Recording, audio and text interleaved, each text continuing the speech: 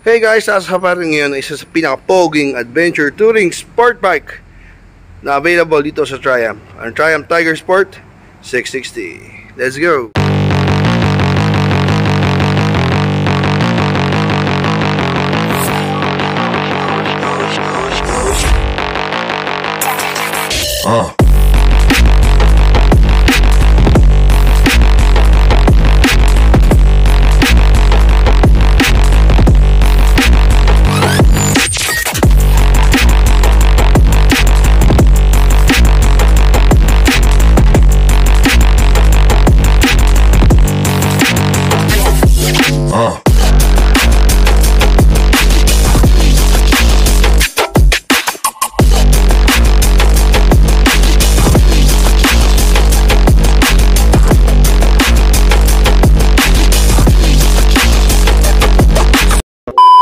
So, ang Triumph Tiger Sport 660, ito ko ito yung gloss gray sa may SRP na 526,000 pesos.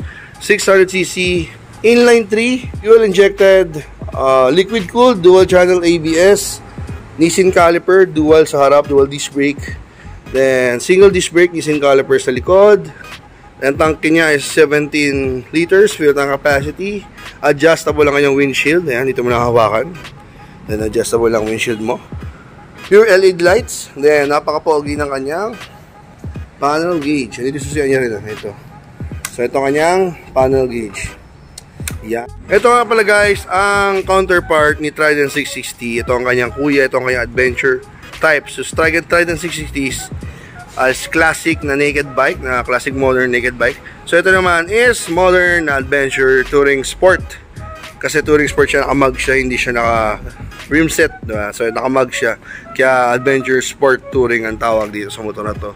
Sa katigin man napaka pogi nun headlight, napaka bangis, napaka tapang.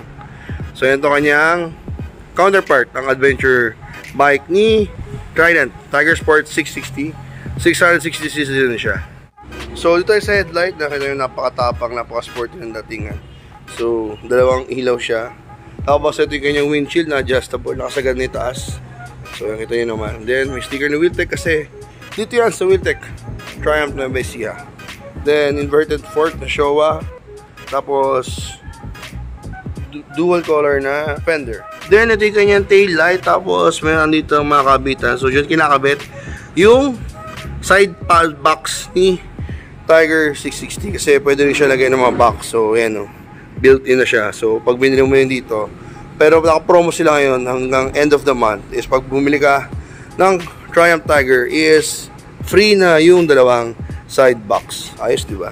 Then ito yung kanya rear fender tapos kitang-kita pa rin ang kanyang malaking gulong. So, pogi-pogi. Pero mas maganda gawin mong tail tidy talaga para mas gwapo. So, ito ang kanyang panel gauge.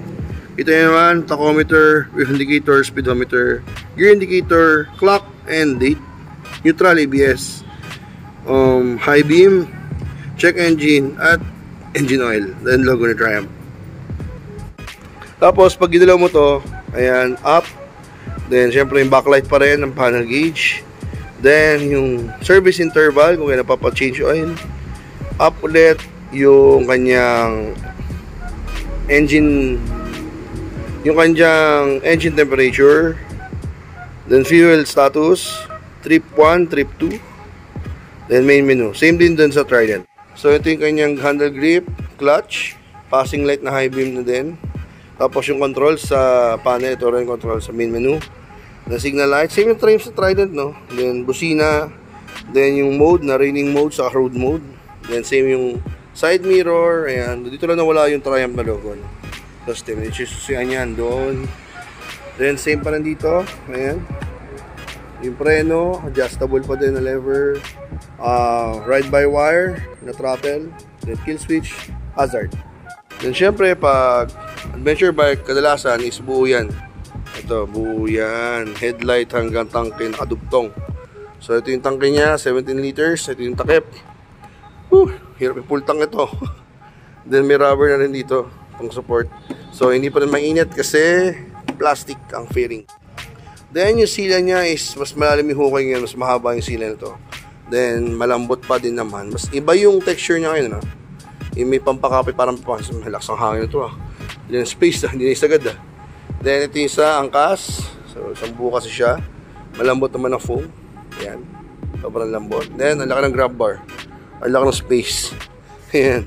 Tapos ito nga yung kabitan ng side box. At syempre, gulong sa harap, Michelin tire. Wow, ganda ng brand to.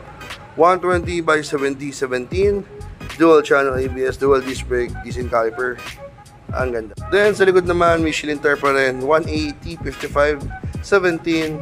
Single disc brake, ABS, Nissin caliper.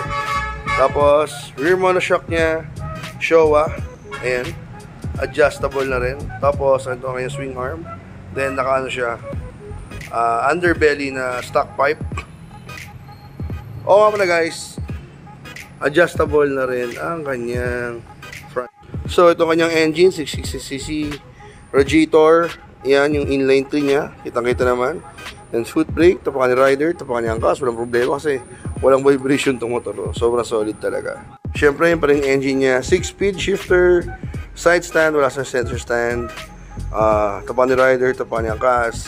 At syempre, uh, tire hugger and chain sprocket. So, yan ang vlog natin para sa Triumph Tiger Sport 660. 526,000 goods na goods na to. Inline 3. Hindi siya ganun kalakas na guys. Promise guys. Sobrang pogi pa naman to. Talagang pagtitinginan ka. Lalo na kapag nagpalit ka ng tambutso. Trust me. Subok ko na. so, yun. Punta na dito sa Wheeltech Big Bike Complex. Ito yan sa Vitas. Cabanatuan City. Ayan, nabi sila. Ito yung Triumph. Or chat niyo yung page sila Triumph or si Ma'am Samantha Gonzalez dito sa Wheeltech. So yun, maraming salamat guys. Triumph Tiger Sport 660. Let's go.